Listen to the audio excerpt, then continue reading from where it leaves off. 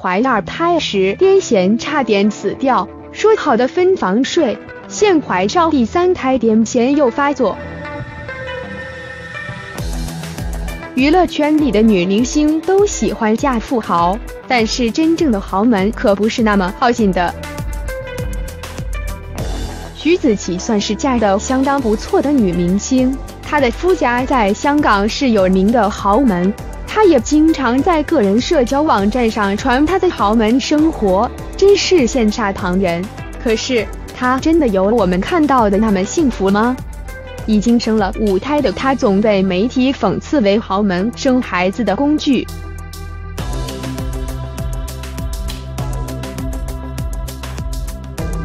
她这种情况就算是好了的，还有一些想嫁入豪门的女明星，嫁进去才发现那是一个伪豪门。大 S 的老公汪小菲就被人说成伪豪门。大 S 在她最红的时候隐退嫁给汪小菲，据说两人仅仅认识了二十天就闪婚，而且汪小菲还比大 S 小五岁。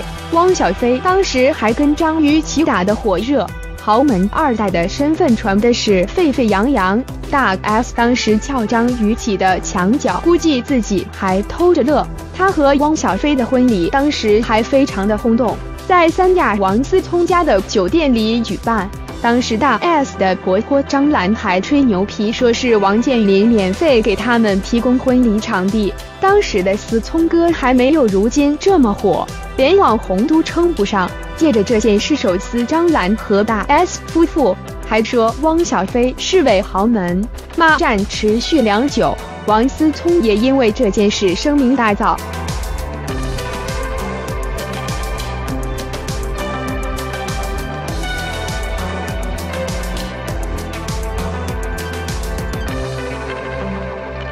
骂战的结局以大 S 方退让平息战火，随后他们一家人不知道是被吓着了还是怎么了，开始低调起来。大 S 自结婚后就很少出席活动或者拍戏，两人婚后也很久没有有喜的消息，有些大 S 不孕的消息就渐渐传开了，直到她的大女儿出生才有所好转。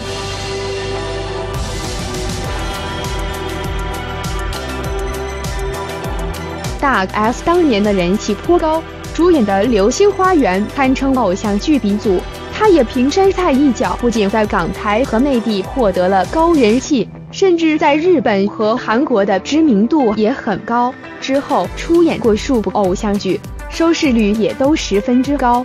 和仔仔周渝民合作的《战神》不仅电视剧火，当年两人因戏结缘，还谈过一段时间的恋爱。大 S 喜欢帅哥，在娱乐圈众所周知。只是他这个人太看重爱情了，男方却更注重事业，所以最后还是分道扬镳了。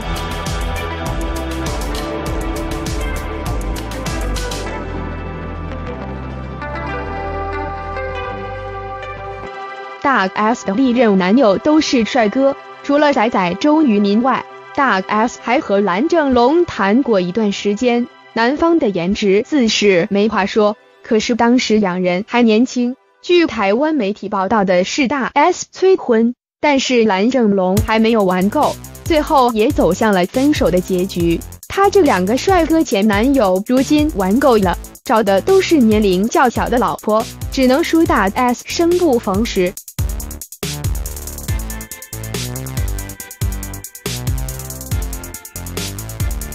大 S 可能真的比较着急结婚，和汪小菲认识不到一个月就结婚。其实当时他们很不被看好，后来大 S 又传出了不孕的消息，婚姻危机一度传开。可是两人还是挨过了流言。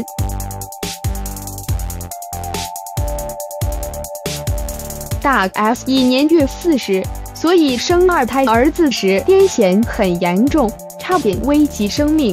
事后便传出不同房不再生了，可是最近大 S 又传出了三胎的消息，据说癫痫又发作了，也不知道他夫家怎么想的。